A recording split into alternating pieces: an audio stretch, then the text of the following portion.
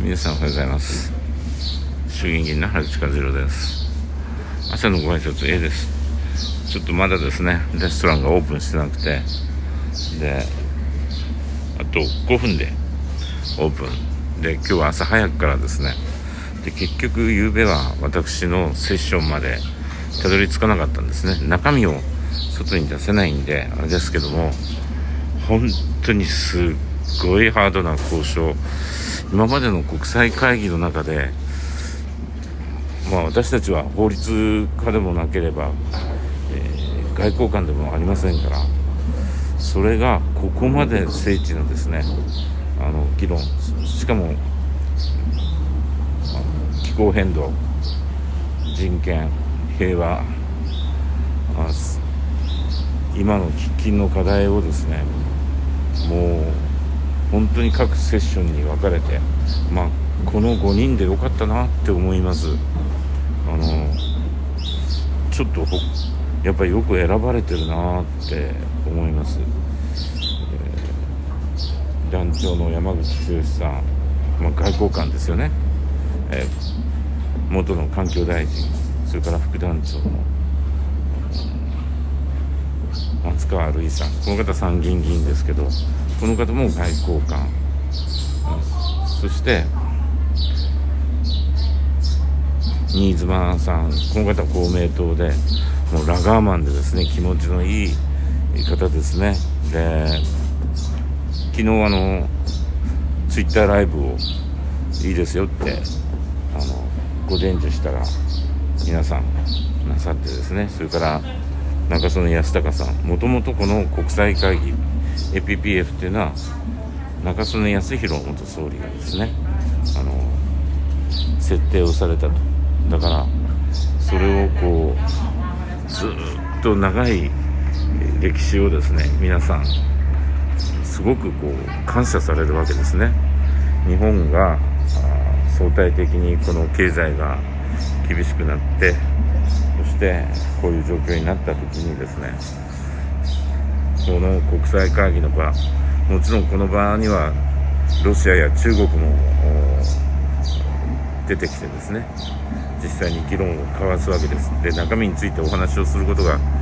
できないのがいかにも、まあ、だからできたのはその成果文書が決議案という形でできるわけですけど今日はいよいよ私のワーキンググループ朝鮮半島のこんな感じですいませんねいきなりボタン押しちゃって今すぐ背広に着替えて行くことになりますで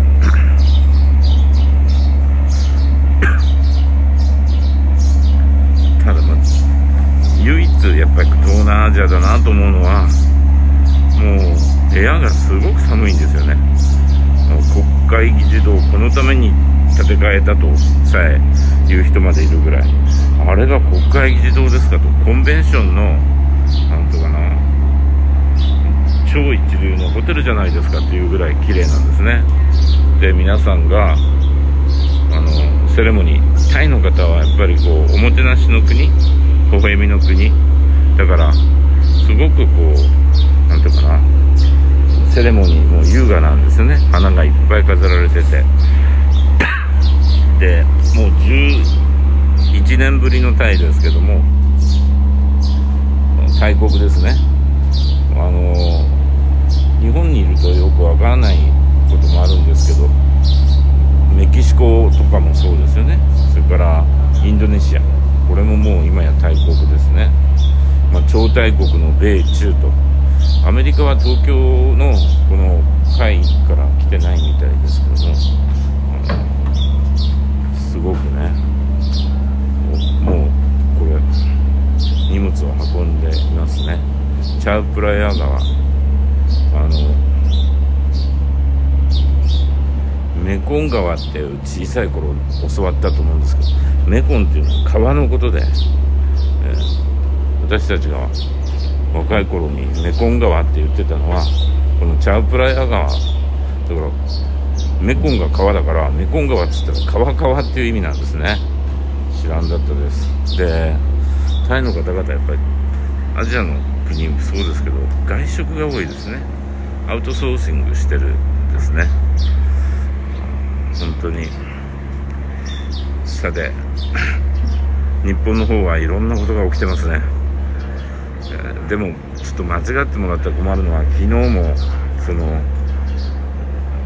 日本国債の動きを書いてどこでしたかねそのイールドカーブコントロールがのことを言ってましたけど MMT の実験が、えー、厳しいことになったみたいに言ってましたが逆なんですよね。むしろその MMT っていうのは単なるレンズ。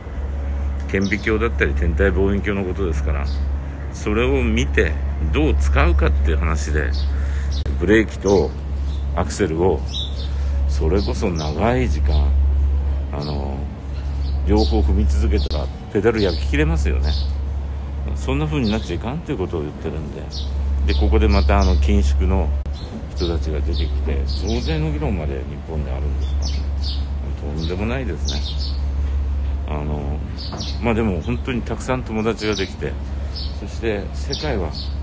あの女性議員が多いですね、